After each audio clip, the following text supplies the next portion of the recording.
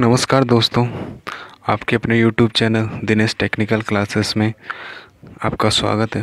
तो फ्रेंड्स, आज का अपना एक नया चैप्टर रहेगा, उसका नाम है ट्रांसफॉर्मर।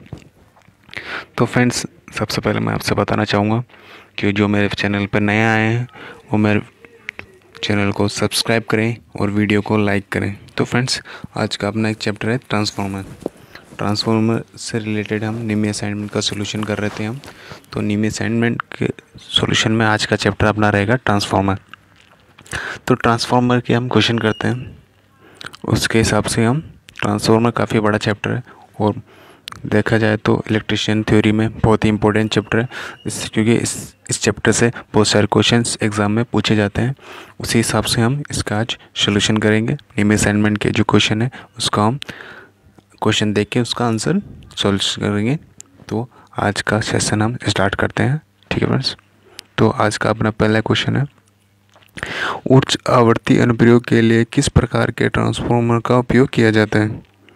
तो हमें देखना है कि उच्च आवर्ती है जो उसमें किस ट्रांसफार्मर का प्रयोग किया जाता है। तो क्या है फ़र्स्ट ऑप्शन अपना? फ़र्स्ट ऑप्शन है रिंग कोर तो रिंग कोर का किया जाता है नहीं किया जाता है। फेरेट कोर का सिलिकॉन स्टील और कोर ट्रांसफार्मर का, या रवा, उन्मुख कोर ट्रांसफार्मर का। तो हम इसमें किसका उपयोग करते हैं? तो फ्रेंड्स इसमें आप देखेंगे तो जो उच्च आवर्ती ट्रांसफार्मर में होता है वो फेरेट कोर का ट्रांसफार्मर का उपयोग किया जाता है, ठीक है? तो इसमें बी ऑप्शन इसका आपका राइट आंसर होगा। ठीक है फ्रेंड्स नेक्स्ट क्वेश्चन तो अपना नेक्स्ट क्वेश्चन रहेगा। एक आदर्श ट्रांसफॉर्मर में प्राथमिक voltage E one V one और माध्यमिक voltage E two V two के बीच क्या संबंध है? तो ऑप्शन देखते हैं अपन।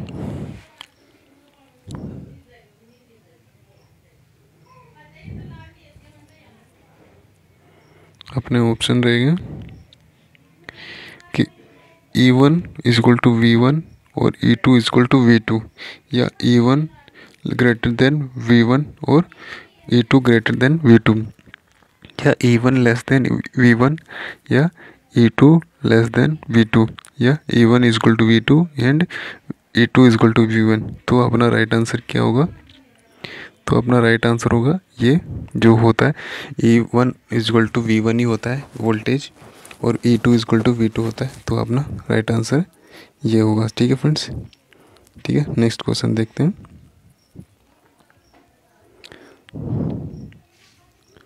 तो इसका क्या है? ट्रांसफॉर्मर में कंजर्वेटर का कार्य क्या है? तो ट्रांसफॉर्मर कंजर्वेटर का कार्य क्या होता है? तो देखते हैं। नमी में प्रवेश को रोकता है, वायुमंडल में उष्मा को स्थानांतरित करता है, या आंतरिक दबाव छोड़ने की अनुमति देता है, या लोड भिन्नता के कारण तेल स्तर में के विस्तार की अनुमति देता है। तो तो अपना क्या आंसर होगा? डी आंसर ये बिल्कुल सही है। लोड भिन्नता के कारण तेल स्तर के विस्तार की अनुमति देता है। तो डी ऑप्शन इसका बिल्कुल सही होगा। ठीक है फ्रेंड्स नेक्स्ट क्वेश्चन रहेगा अपना। शॉर्ट सर्किट टेस्ट द्वारा ट्रांसफार्मर के किस हानि का निर्धारण किया जाता है। तो शॉर्ट सर्किट जब होता है ट्रांसफार्मर में तो हम उसमें से कौन सी हानि को निकालते हैं? तो अपन सबसे पहले हम देखते हैं कि दो सर्किट होता है ओपन सर्किट होता है जो हम्म, बिना लोड के होता है और एक शॉर्ट सर्किट होता है जो लोड पे होता है ठीक है? तो ओपन सर्किट में हम क्या निकालते हैं? आयरन लॉस निकालते हैं और शॉर्ट सर्किट में कॉपर लॉस निकालते हैं, ठीक है फ्रेंड्स तो अपना ऑप्शन देखते हैं तो इसका फ़र्स्ट ऑप्शन ताम्रहानी, बिल्कुल सही आंसर है, क्योंकि हम शॉर्ट सर्किट में ताम्रहानी को निकालते हैं वायु हानि नहीं निकालते हैं स्ट्रेस हानि और प्रधान हानि, ये दोनों नहीं है तो ताम्रहानी बिल्कुल सही होगा। तो हम ताम्रहानी निकालते हैं इससे, ठीक है? नेक्स्ट क्वेश्चन ट्रांसफॉर्मर में वोल्टेज के प्रति प्रतिशत विनिमय की गणना करें। यदि शून्य भार वोल्टेज 240 वोल्ट है और पूर्ण भार वोल्टेज 220 वोल्ट है।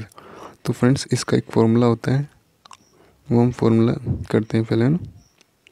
तो इसका होता है वोल्टेज रेगुलेशन निकालने के लिए हम क्या करते हैं? तो होता है, क्या होता है ये? नो लोड वोल्टेज एक मिनट ये no load voltage minus full load voltage upon ये full load voltage into hundred होता है, ठीक है? तो हम वैल्यू पुट करेंगे। तो हम वैल्यू पुट करेंगे तो क्या आएगा? नो लोज हमें क्या दे रखा है? दो सौ चालीस माइनस दो सौ बीस अपॉन दो सौ चालीस इंटू हंड्रेड ठीक है? तो क्या होगा तो हम ये लिखेंगे तो इसका सॉल्यूशन करके तो यहाँ बचेगा बीस अपॉन दो सौ बीस इंटू हंड्रेड तो यहाँ से ये कटा, ठीक है? ये, यहाँ बचा दस, ये बचा ग्यारह ठीक। तो कैसे करेंगे? अब हो गया ये। यहाँ हो गया दो सौ। दो सौ अपन ग्यारह, ठीक है? तो अपना आंसर आएगा। दो सौ अपन ग्यारह वैल्यू पुट करेंगे हम तो क्या आंसर आएगा? Nine point zero nine percent percent आएगा। तो डी ऑप्शन इसका। बिल्कुल सही होगा। ये डी ऑप्शन इसका सही है, ठीक है फ्रेंड्स? तो डी ऑप्शन इसका, सही। नेक्स्ट क्वेश्चन ट्रांसफॉर्मर में टुकड़े टुकड़े में कोर का उपयोग करने का उद्देश्य क्या है? ट्रांसफॉर्मर में टुकड़े टुकड़े कोर का उपयोग करने का उद्देश्य क्या होता है? तो ऑप्शन देखते हैं।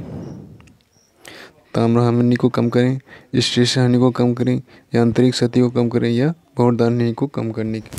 तो हम जब इसमें ट्रांसफॉर्मर में टुकड़े टुकड़े का उपयोग किया जाता है वो तो क्या किस लिए? बहुवरदार हानि को कम करने के लिए टुकड़े टुकड़े का उपयोग किया जाता है, ठीक है फ्रेंड्स तो इसमें एक ट्रांसफॉर्मर की विधि दे रखी है। तो ये कौन सी विधि दे रखी है? What is the cooling method of the transformer तो ये कौन सी दे रखी है हमें? Oil nature cooling oil nature air force cooling oil force air force cooling या oil natural water force cooling तो ये ऑयल नेचर कूलिंग दे रखी है तो ये ऑप्शन इसका बिल्कुल सही होगा, ठीक है? नेक्स्ट क्वेश्चन ट्रांसफॉर्मर में अधिकतम दस्ता प्राप्त करने के लिए क्या शर्त है? तो ट्रांसफॉर्मर में अधिकतम दस्ता प्राप्त करने के लिए क्या शर्त होती है? तो वही, अगर ट्रांसफॉर्मर अधिकतम दस्ता है तो ताम्र हानि और और क्या होती है? आयर आयर मतलब लो हानि बराबर होना चाहिए, ठीक है? तो इसमें ऑप्शन में कहाँ दे रखा है वो देखते हैं। तो इसमें दे रखा है। अब हमको किसमें दे रखा है सी ऑप्शन में दे रखा है क्या? ताम्र हानि बराबर लोहानी। तो ये ही अधिकतम दक्षता का फॉर्मूला होता है ठीक है? नेक्स्ट क्वेश्चन ट्रांसफॉर्मर में बकलोज रिले के, के शीर्ष प्लॉट स्विच का कार्य क्या है? तो ट्रांसफॉर्मर में बकलोज रिले स्विच का प्लेट का क्या कार्य होता है? ये अपन को देखना है। तो हम देखते हैं ऑप्शन देख लेते हैं। ऑप्शन हम्म, देखते हैं। तो नमी में उपस्थिति में सक्रिय करें अतिभार की स्थिति में सक्रिय करें खुले सर्किट की स्थिति में सक्रिय करें या उच्च तापमान की स्थिति में सक्रिय करें। तो ये अतिभार की स्थिति में सक्रिय करें ही ट्रांसफॉर्मर बकलेज का सिर्फ़ लोट स्विच का कार्य होता है वही क्या होता है? अतिभार की स्थिति में सक्रिय करें ठीक है? तो फ्रेंड्स आज के क्वेश्चन इतने रहेंगे। तब तक के लिए मिलते हैं अगले वीडियो में। अगर मेरा वीडियो अच्छा लगा हो तो लाइक करें और चैनल को सब्सक्राइब करें। तब तक के लिए जय हिंद, जय भारत।